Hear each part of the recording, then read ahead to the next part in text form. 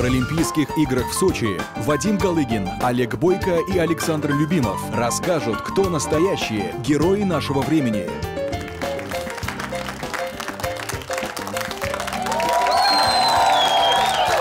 Добрый вечер, уважаемые зрители и телезрители. Мы все еще в Сочи. Мы все еще с вами, хотя Паралимпиада уже закончилась, но наш паралимпийский проект вот заканчивается. При таких результатах нельзя заканчивать паралимпийский проект никогда. Пусть дальше продолжит. Олег Бойко и Вадим Галыгин вместе с нами сегодня здесь, в Сочи. Добрый вечер. Как будем продолжать? А, Я думаю, что надо каждый год такие игры теперь устраивать. Просто по-другому называть. Паралимпийская универсиада, И паралимпийская... в разных городах. Да, Как паралимпийская в разных Да, категориях. Доступную среду. В разных возрастных категориях. Потом в каждом субъекте федерации. Есть чем заняться точно. Ну, конечно, э, церемония была... вот мне мне из всех четырех, вот она больше всех понравилась. Вот эта, которая была. Которая завершила, да. Которая завершила. Во-первых, я понял наконец все.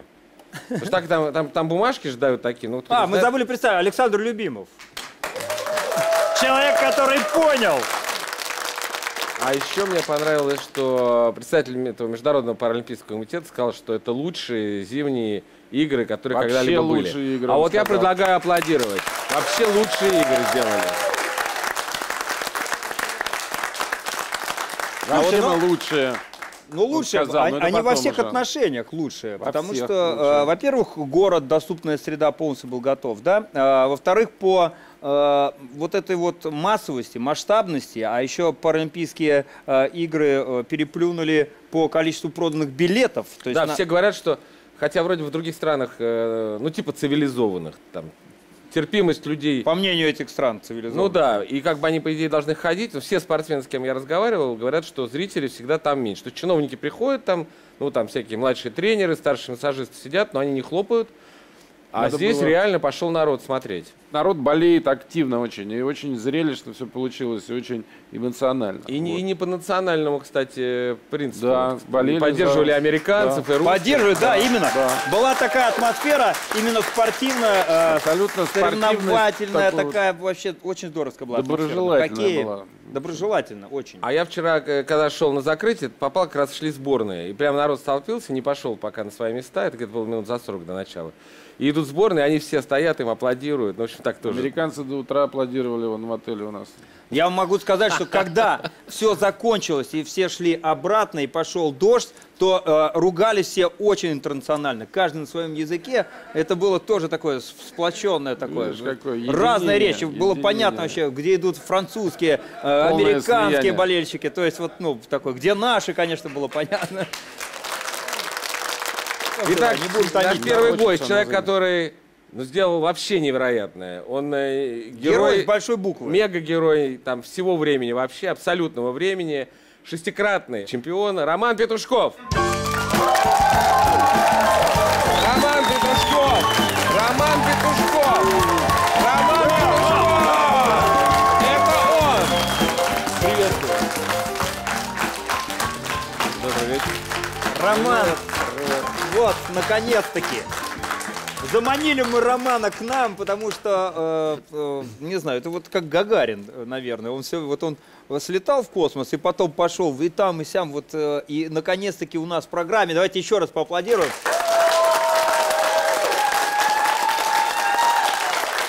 Долго заманивали. Роман, э, мы вот э, к нам часто приходят люди, которым удается э, посмотреть эти замечательные церемонии в сообществе с Владимиром Владимировичем Путиным. И они все с ним общаются про разное. И они нам рассказывают. Расскажите нам, пожалуйста, о чем вы говорили с президентом? Мы с ним разговаривали про горные лыжи. Да ладно. Да. Он поражен, как они катаются с такой скоростью 140 км в час на бабах сидячие. Ну, он тоже катается же. Ну да. Я говорю, я тоже хочу попробовать. Мне Ринсан, он наш тренер, да, старший, перед Олимпиадой не давал мне эту возможность реализовать. Потому что у меня все друзья катаются, а я всегда стою с фотоаппаратом и их фотографирую, знаешь, как обычно. Никому не нужно. еще шесть. Никому не. И Я тоже хочу покататься. Я раньше тоже катался на горных лыжах. То есть, как бы, ну, Неравенство такое, Ну дискриминация. он мне сказал, я тебе не советую, сто процентов. Я говорю, у меня там позвоночник еще, операцию делал, где Женя Плющенко в Израиле ездил. Говорит, ой, тем более, сто процентов, тысячу процентов говорю, что не нужно делать. Вот. Я говорю, хорошо, я не буду этого делать. Мои Роман, а вот всех больше всего интересует вопрос, потому что есть слух такой устойчивый, э, что вчера не первое место было занято специально, потому что, чтобы дать дорогу каким-то, ну, молодежи, может, есть такое дело или нет? Нет, конечно. Это последнее. Или боролся? Я не слушаю никого. Если я делаю, делаю, делаю до конца. Не получилось чуть-чуть. Не, ну, свои нюансы. нормально. Не может же быть все время. Было бы Поменялась подозрительно. структура снега чуть-чуть. Не угадали со смазкой. Можно сказать так. Удавалось хотя бы дух перевести? Вот, ну как, э, свободное время, что? Или это же на каждую Надо гонку надо, да, настроиться и восстановиться. Зеленый чай, может, какой-то секрет есть. Расскажи, как восстанавливаться Зелёный чай. вообще такое количество раз, чтобы У меня такая маленькая история. Три года назад, когда Владимир Владимирович был премьер-министром, э, в Сочи гостиница «Парус», да, где мы проводим сборы, он приезжал посмотреть, как доступность для инвалидов. Я должен был ему там, ну, рассказать, как да. мы встретились с ним. Он мне пожал руку и сказал, Ром, надо справиться с Сочи. Я говорю, хорошо, будет сделано. И вот это его слова, вот три года подряд, я, выходя на тренировку, всегда их вспоминал. То есть у меня уже настрой пошел три года назад начался. Надо чаще. На эту паралимпиаду. Чаще надо чаще встречаться. Это как приказ. Вы как-то в одном из интервью, это вот очень такой важный в нашей программе, собственно, смысл того, что мы делаем, э, пропагандируя вас, паралимпийский спорт, мы говорим, мы говорим э, о том, что э, трудности в жизни, они иногда помогают даже. И вот у вас в одном интервью меня очень просто поразило. Травма изменила вашу жизнь к лучшему. Вы говорили это? Что после травмы у вас появилась цель, которой не было раньше. Вот Говорили. расскажите поподробнее, как это происходит в момент, когда человек попадает в такую совершенно трагическую ситуацию. Да я не считал, что я попал в какую-то трагическую ситуацию, я вообще об этом не думал. Мне единственное, маму жалко было, да, что она со слезами в больницу приходит, плачет. Я попал как раз в аварию в то время, когда закончились игры в Турино. Мне говорят, Ром, смотри, ребята, паралимпийцы, за золотые награды, там тоже ног нет, вот видишь, какие молодцы. Я говорю, да я не инвалид, отстаньте от меня, и все, как бы. Не надо мне об этом говорить, сейчас я в этой команде. И через сколько ты попал в эту же самую команду? Я попал бук- буквально через полгода уже был в команде. Ты считаешь, это судьба или это все-таки вот именно такая привычка доводить дело до конца? Раньше была как-то обыденная жизнь, да. Я не стремился ни к чему, не загадывал, ничего не планировал в жизни. Так получилось. Понравилось, втянулся. Ну, Поначалу не нравилось. Я никогда не думал, что я буду спортом заниматься на выносливость именно. Я в детстве ходил во все секции, там, ну, как мальчишка был, и росли на улице. И карате, и дзюдо, там, везде интересно было. Хоккей. Пробовал лыжами заниматься, тяжело мне было. Футболом пробовал, тяжело. Но на выносливость никак, горный классно. А получилось совсем наоборот. После травмы все изменилось кардинально и начал на выносливость заниматься. Поначалу было тяжело, но втянулся. Начали повышаться результаты и понравилось. А сколько ра- и ра- времени тренировки э, занимают? Ну это же огромный, колоссальный труд. э, Ну, это- мы последний раз в ноябре были дома.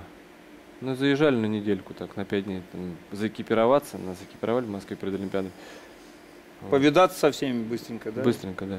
А вот э, э, вы э, маме почему э, сказали болеть за вас дома, а не ехать Ну, сюда? я знаю, что она переживает, да. Дома это переживание. А тут еще вот эта атмосфера, мне кажется, тут сложнее. Да и тебя бы, наверное, отвлекало. Вот Сергей Ну да. Шилов, да, мне сегодня сказал, лучше бежать, чем переживать, чем болеть за вас. Хорошо. Хорошо. А вот для кого это все-таки ты это делаешь? Это естественный процесс или это для родных, или это для страны, или это для э, близких? Как вот? Я говорю, ви- я думаю, везде по чуть-чуть, да, в одно целое сложить. И ответственность перед страной, и себе доказать, и маму сделать счастливой, да, что... Одна медаль Слушай, стране, сразу- одна маме, одна себе. А ты для кого это Как делаешь? получится, маме посвятил, да, первую медаль. Да? Нет, ты, а ты для кого? Мне просто интересно. Ну я же не спортсмен, подожди. Все я равно мы же говорили про то, что Ну э, хорошо, вот пре- параспорт. преодоление, Параспорт для кого? Достижение, себя? оно Я сейчас подожди про другое, Саша. Ну, я, то, что я делаю, я считаю, что любой бизнесмен, я прежде всего все-таки бизнесом занимаюсь, да, он создает ткань цивили- цивилизации. Вот. То есть он создает что-то, что потом люди используют. Какие-то заводы, пароходы. Это же все полезные вещи, да?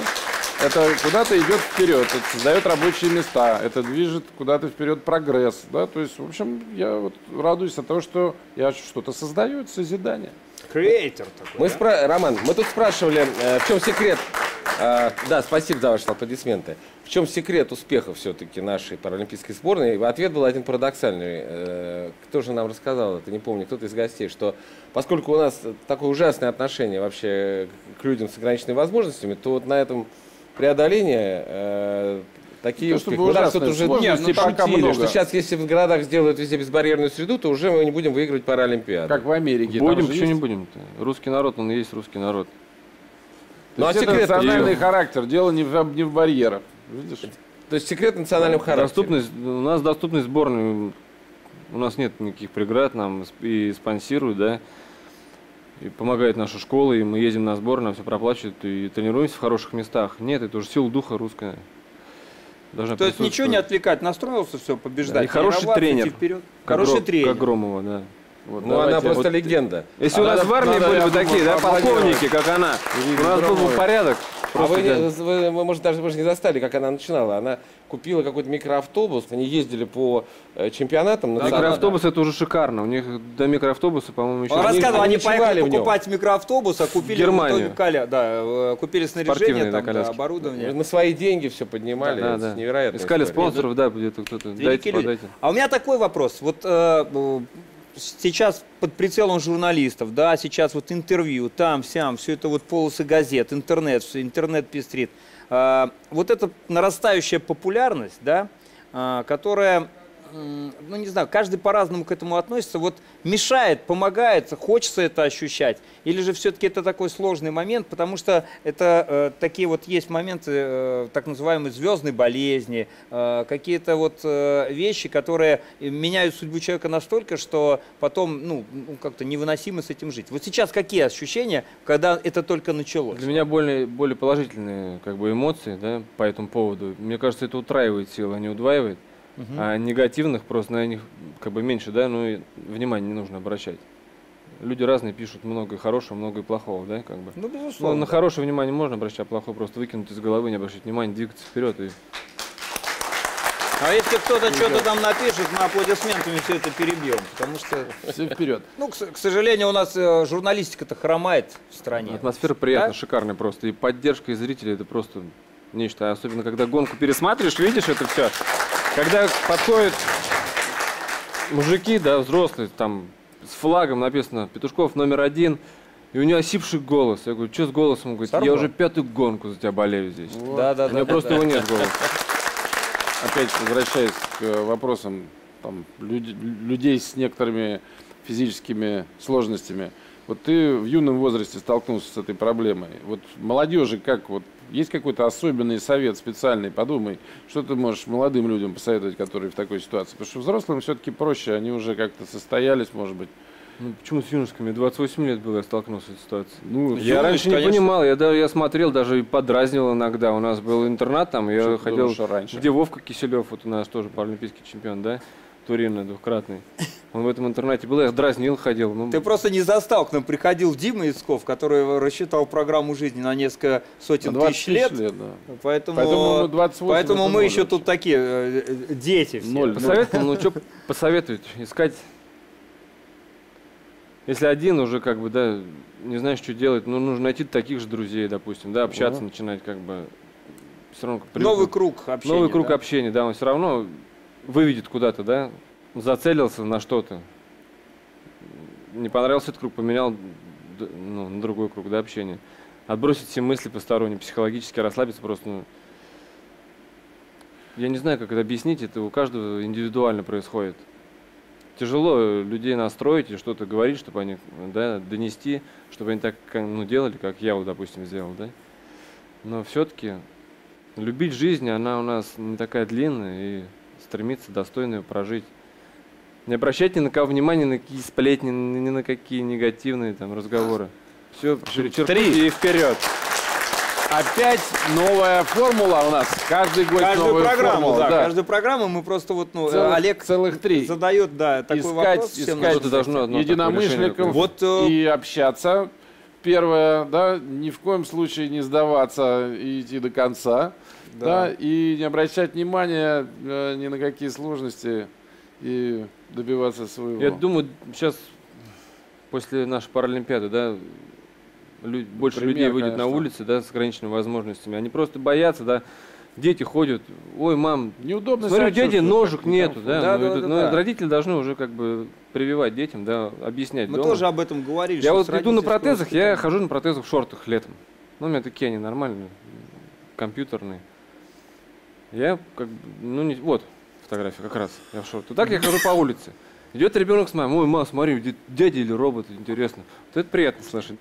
Ну, хотелось бы, чтобы родители объясняли детям, что они не одни такие, да, что есть люди такие же, но они не могут как бы ходить, передвигаться, как, допустим. А ты вот себя увереннее чувствуешь вот так или, или когда передвигаешься? Я просто не стал сейчас одевать протезы, потому что я на позвоночнике операцию делал тяжело. да? год назад. Ну да, чтобы искривления не было, я сейчас ни на какие сборы вообще не, брал протезы, они меня дома И ждут. ты вот с этим еще тут и все это участвуешь. Еще на лыжах ему пустить Нет, его так кататься я- 140 километров. Дома я хожу на протезах всегда, ну, на коляске только дома. Сейчас домой Мгм. прихожу, снимаю. А на сборах, ну, чтобы не травмироваться, лишний раз искривление не получать, я уж на коляске. Паралимпиада закончилась, сейчас можно уже походить. Ну сейчас-то отдых, да? Таиланд. Таиланд, да? О, а там, кстати, там доступная среда в Таиланде.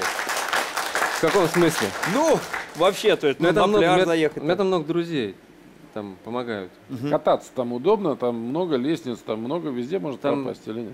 Доступность не очень, конечно, но Но зато все это... Они помогают, они помогают. Э, Тайцы, они такие приветливые люди, если они видят, что тебе Да, трудно, они такие возьмут, тебе помогут. Там и все помогают, иностранцы, и ну, русские, они всегда помогают, особенно в хорошем настроении, когда.